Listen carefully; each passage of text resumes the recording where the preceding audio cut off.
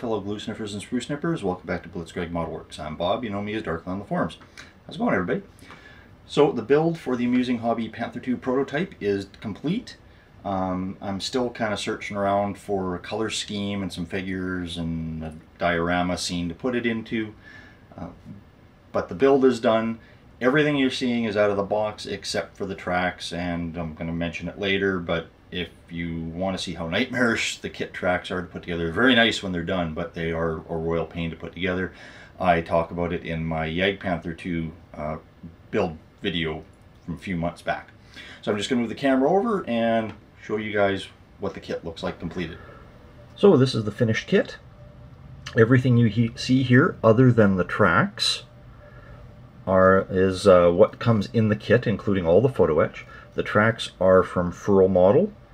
They are actually much easier and uh, to build and to clean up than the kit tracks. The kit tracks are kind of nightmarish.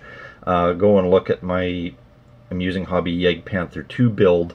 Uh, I did use their tracks on that. Now, this up a little bit here.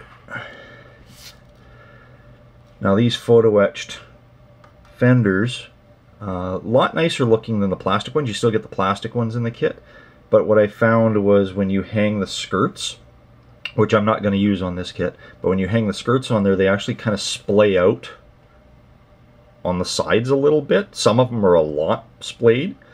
And it's not the hangers. It's, it's I don't know what it is, but they, they just hang really weird.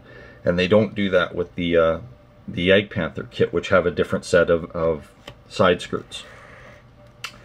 Suspension is the same as the Jagdpanther 2, went together fairly well. It is work workable.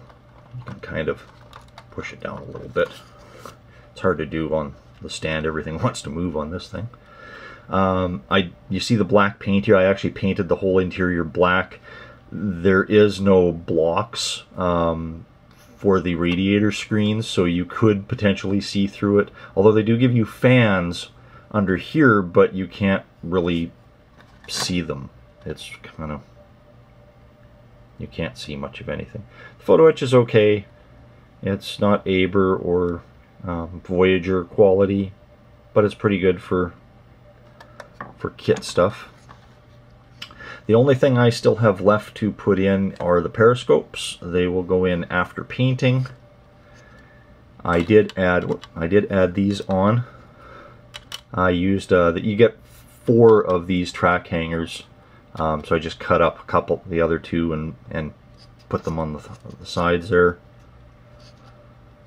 Some nice photo etch bits for the uh, for the hatches. The hatches are actually really cool here, if I can get this off, because they're actually have some nice detail to them.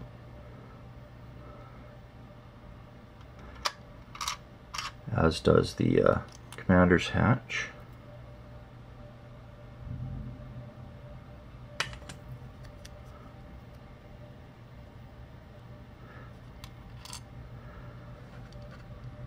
But that's it. Um, I'm still farting around trying to figure out what kind of paint scheme that I want to do.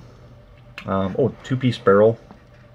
It's actually more like a three-piece barrel because you get, well, four now to come to think of it. You get a left and a right side and then the back part of the muzzle brake and then the front part is a separate piece. You can see where I've done the filling there. Goes together fairly well.